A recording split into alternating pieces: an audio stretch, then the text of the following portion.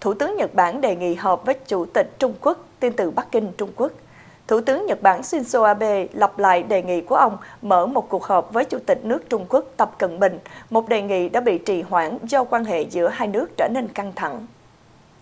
Nói chuyện với các phóng viên báo chí hôm thứ Năm ở New York, Thủ tướng Abe nói sẽ có nhiều lợi ích nếu ông và Chủ tịch nước Trung Quốc có thể gặp nhau vào tháng 11 tại một hội nghị thượng đỉnh khu vực ở Bắc Kinh.